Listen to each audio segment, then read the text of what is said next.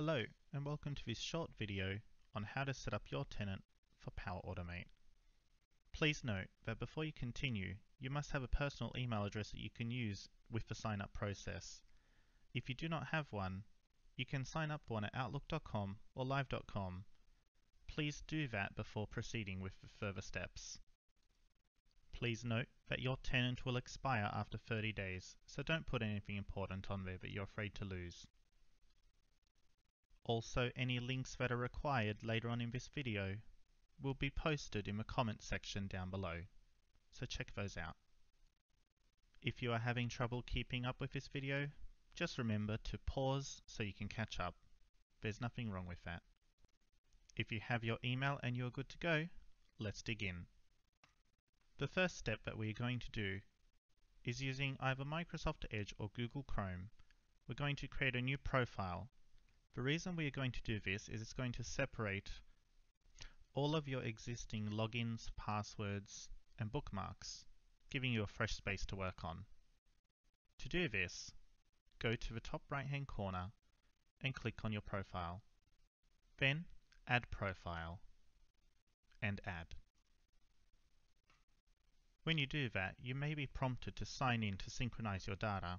In this case, we're just going to continue without signing in. Now that we've done that, please paste the first link into the address bar. This will take you to the Office 365 E3 page. We're going to go on the right hand side and click on Free Trial.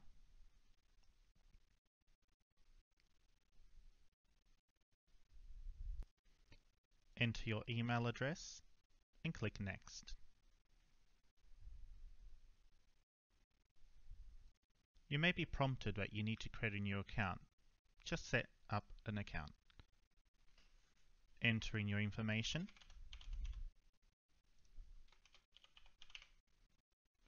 Make sure you send a valid phone number as this later on will be used for authentication purposes.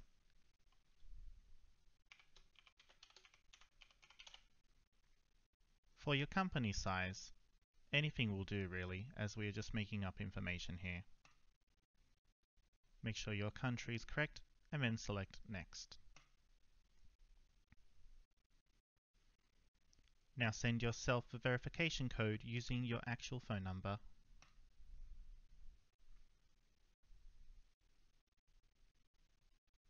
You will receive a text message on your device from Microsoft within about a minute enter that code in, which is just a one-time code. Please note, this code will not be the same for everybody, so just enter the one that gets sent to your device. Then click Verify.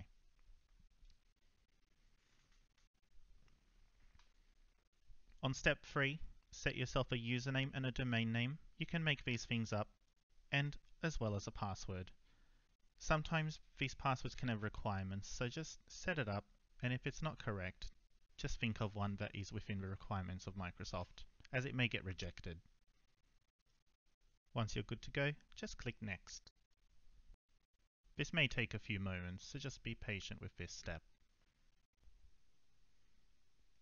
If prompted to save your password, just click the X, unless you actually want to. Once it says thanks for setting up your Office 365 E3, note down your username and remember your password as you'll need this at a later point. Then click Get Started.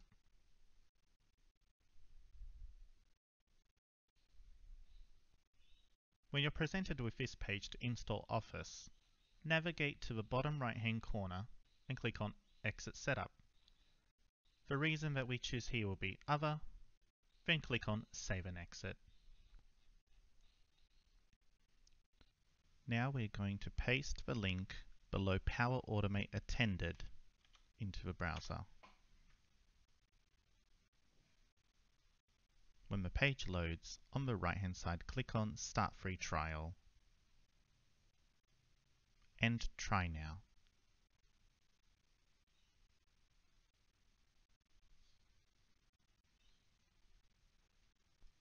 Click on Continue.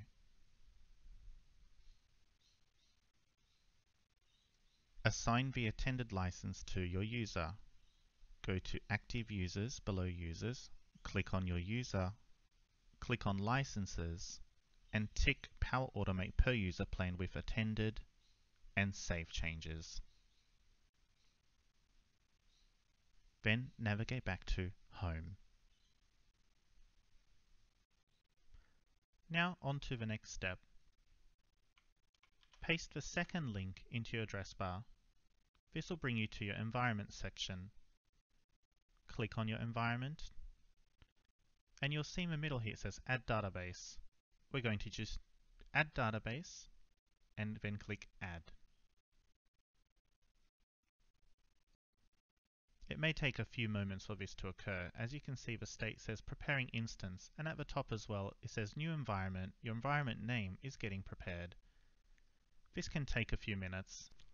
Once that's completed, your state should say ready and it should say at the top new environment. Your environment name has been successfully created. We are now completed with this stage. Finally, in your address bar, paste the third link below this video. We're going to click on Buy Now and with the per user plan with attended RPA, below Buy Now we're going to click Try Free. At the sign up page, we're going to enter the email address that we created with our tenant and then we're going to click on Start Free.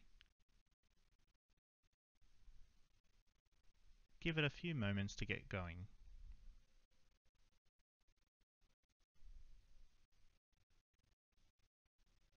When you see Let's Get You Started, click on Continue. Select your country and click Get Started.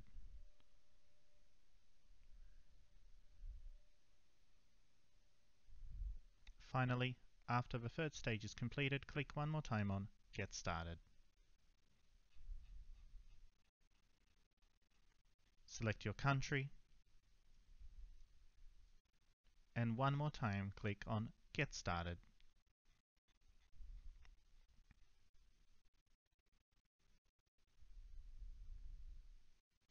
Now that we have done all that, we need to install some software. The required software will be in a zip file below this video. Please download that zip file.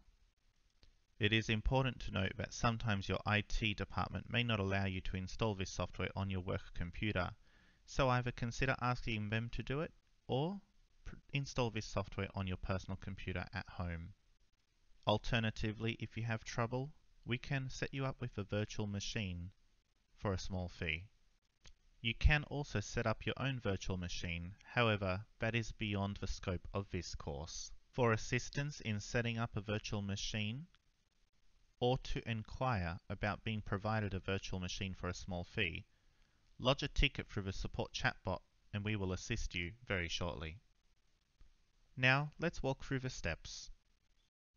Download the zip file that is in the comments section below this video. This zip file is called required software. Right click it and say extract all and then click extract. After a moment, your folder should open.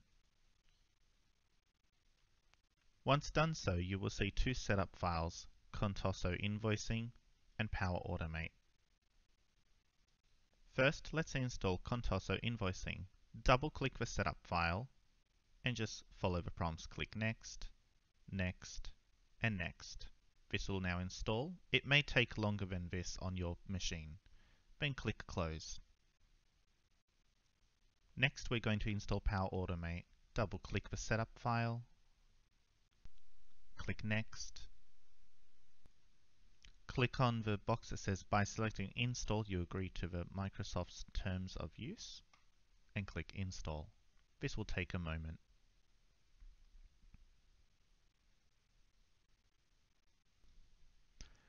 Once that is finished, you can click on Close.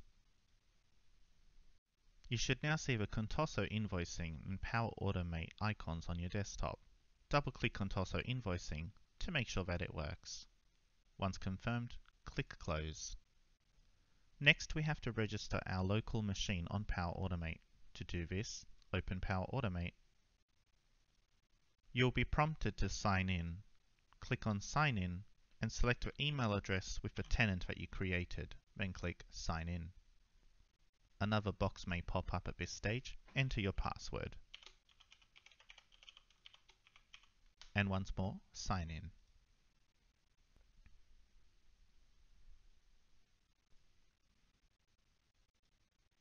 When you are offered a tour, click Skip. And click Don't Show Me Again and Got It. We are now going to set up our machine locally. To do so, click on Settings and then click on Open Machine Settings at the bottom.